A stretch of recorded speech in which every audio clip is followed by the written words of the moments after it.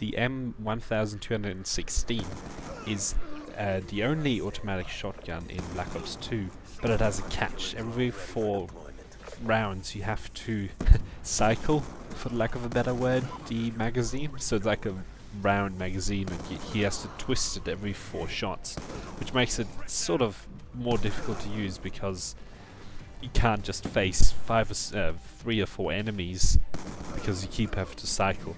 Honestly, when you have to cycle is usually the time when you are going to die. That said though, basically a shotgun you have to maneuver the map so that you are in range. That's the main skill in using shotguns. So basically what that means is that uh, when you have to sort of know where the enemies are and then go the route that you know has the most close quarters in it. It is better to get a bit closer than to start firing because the M1216 takes often takes more than four shots to kill when you aren't super close to the enemies. And if you have to cycle that around as I said before that's mainly where you die. So you want to finish enemies within one cycle.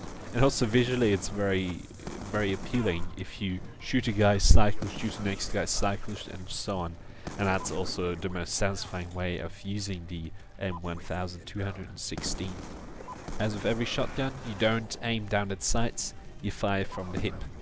The class is built around getting you to the enemies as fast as possible and being resistant to the sort of explosives and flashbangs that are going on but it's also mainly focused around the weapon, so it doesn't include a secondary or any lethal or tactical grenades.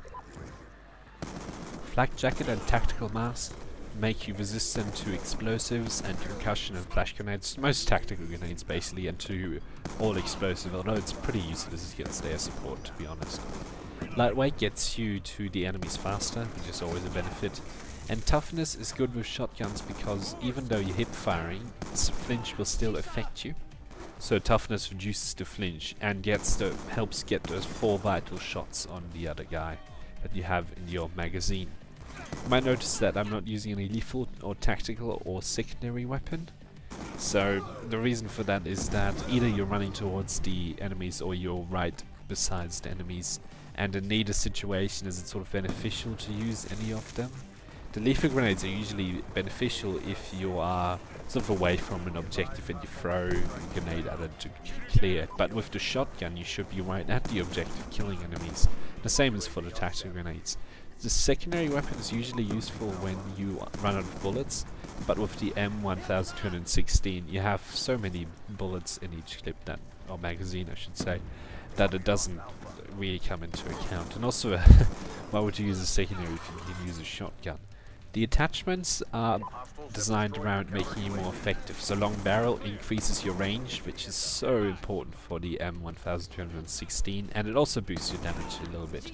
Laser sight helps with every kill because you should be hip firing, and the adjustable stock actually I discovered is that uh, it also makes your weapon a bit more accurate, which is very helpful to say the least with the M1216 because it lets you get more bullets on the enemies. So there you go, that's the class setup and tactics for the M1216. Hope you enjoyed the video, thank you for watching and until next time.